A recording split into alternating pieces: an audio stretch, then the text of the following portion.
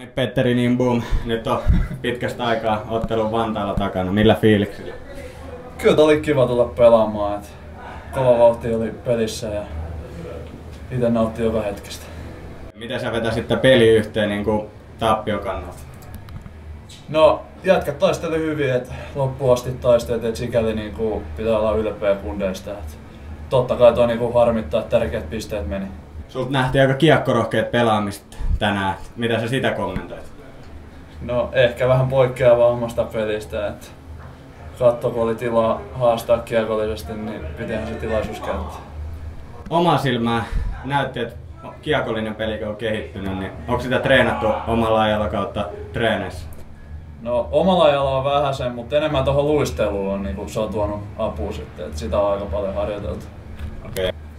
Sitten vielä loppuu kysymys, että miten tästä parannetaan? Laitetaan limppu enemmän sisään. Kiitos.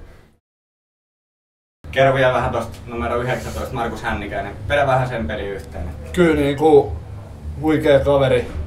Et tota, tänään valittiin nelkäsimmäksi pelaajaksi. Että kyllä on pakko sanoa, että se on Suomen parhaimpi pelaaja ilman kiekossa ja ehkä jopa Suomen ainut pelaaja, joka pystyy karvaa kiekon kanssa. Et pitää nostaa hattua kundille, että jaksaa painaa joka pelissä.